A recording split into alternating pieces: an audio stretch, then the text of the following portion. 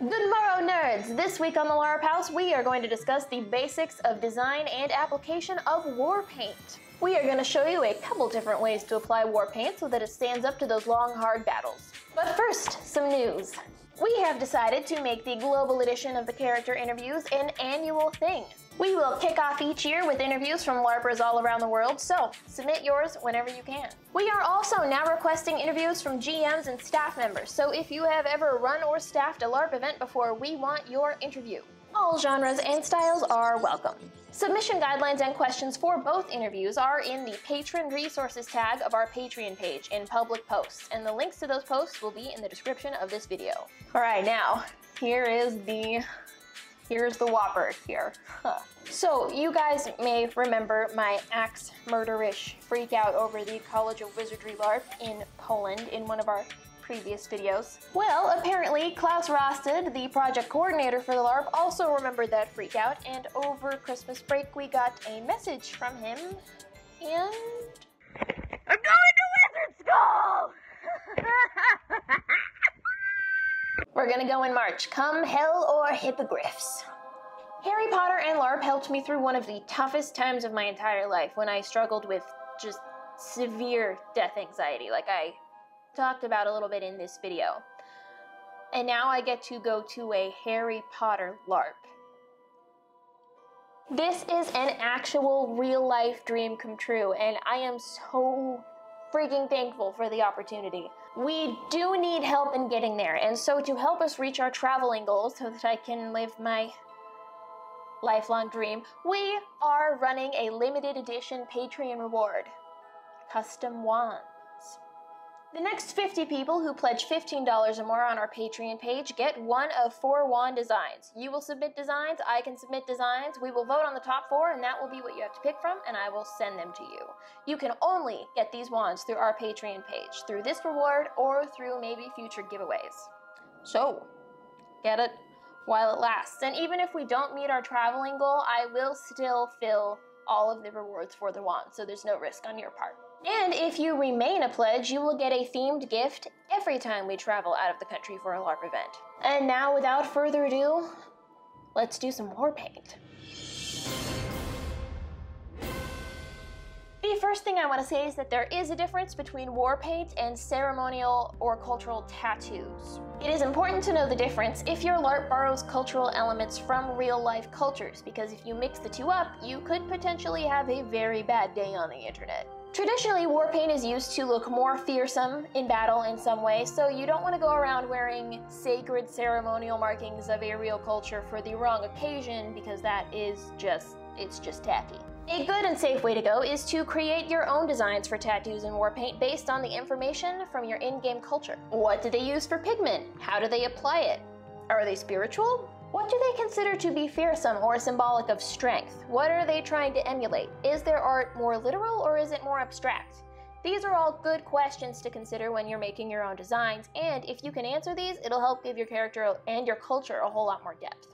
So, what we've got here for materials is Pros-Aide, a medical hypoallergenic sort of adhesive, makeup brushes, Q-tips, sealing spray, water in a spray can, in a spray bottle, setting powder, and either Graftobian Pro Paint or Mehron Paradise Paint. I tend to prefer Mehron, but we're going to start with Graftobian here. These are both water-based makeups that you just spray water on to activate. First thing you're going to do is clean off your face with alcohol, 99% alcohol in that spray thing. And then we're going to outline the design that that you just spent so much time probably not designing. It's great. It's going to be fine.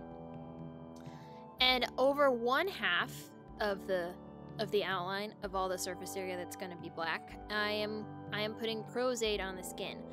This creates, once it's dry, it creates a barrier between your skin and the makeup, which means that your own sweat will probably not be the cause of it smudging everywhere.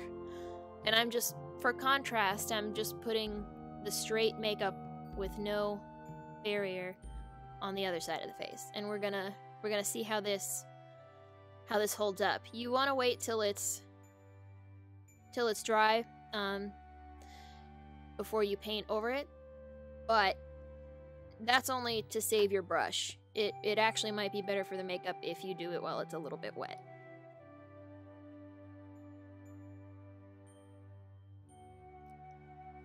And now I am sealing it with setting powder. This is this is an important step. This helps protect the makeup from outside elements, outside assailants.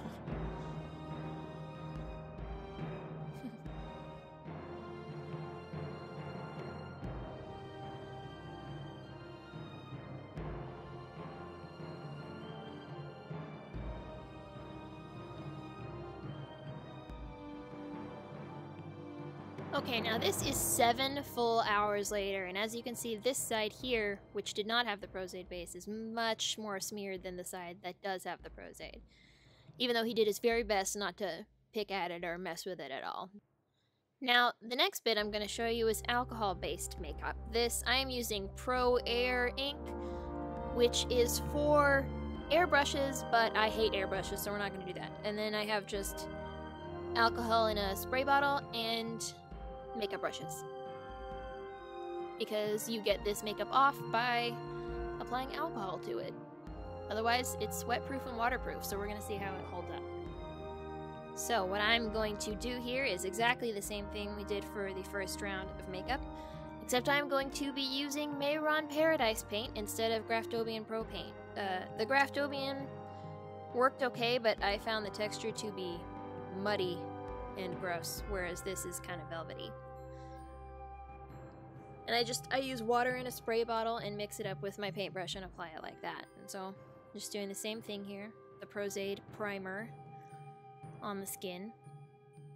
And then going in and filling it in. I'm really just redoing this this application as a contrast for the alcohol-based makeup that we're going to show you and put to the test in a minute here.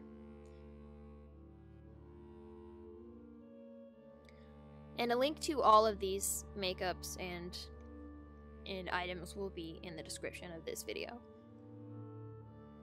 So this is the alcohol-based makeup, and I'm just kind of making up a design. But this is a pretty cheap brand. You have to go over it twice, probably, to get a nice, a nice even black.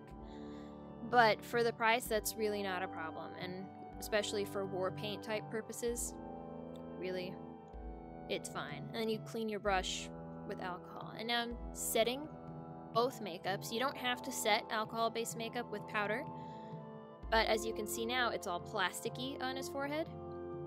And putting the powder on it makes it nice and matte, which makes it look a little more, you know, accurate. And so now what we're doing, since we don't have seven hours and we want to show off how crazy this alcohol makeup is.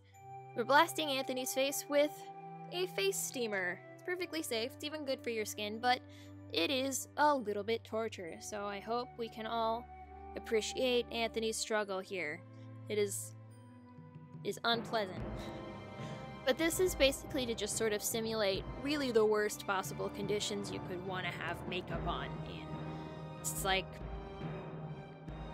it's, it's August in Florida. You know, I hope you're not LARPing in jungle conditions, but if you are, at least we have a makeup for you. So you might notice the moisture starting to beat up on the side with the Pros-Aide, and that is because the Pros-Aide creates a barrier, and so the moisture doesn't have anywhere to go. It doesn't absorb into the skin like it is on the other side, where it's just going right through the makeup. As you can see, they are both both sides are are are getting just a little bit wrecked by all of this just steam blasting at his face, but the alcohol makeup was completely unaffected. It's even still matte at this point. It's kind of insane. There you have it. Links to these products will be in the description. There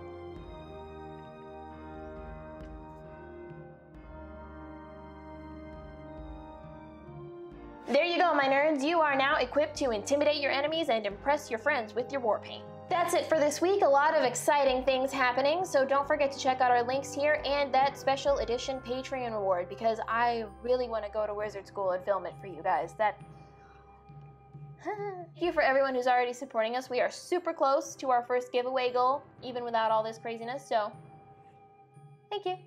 And as always, nerds, like us, subscribe to us, fight with us.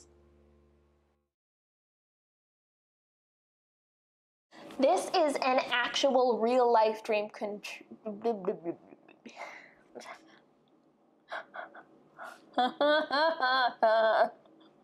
I'm so excited.